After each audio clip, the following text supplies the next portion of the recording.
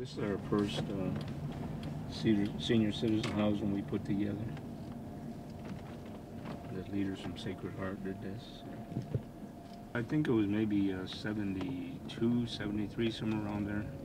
The community development block grants had just started up uh, out of Washington, D.C. And at the time, San Antonio would get maybe 20 some odd million. There was a, an attempt to buy uh, Pecan Valley Golf Course with CDBG monies. Uh, and we were against that because we wanted the money to go to uh, uh, capital improvement projects in the communities. They didn't buy the golf course. so a lot of that money we were able to do a lot of the, the drainage, a lot of the housing, a lot of housing rehab.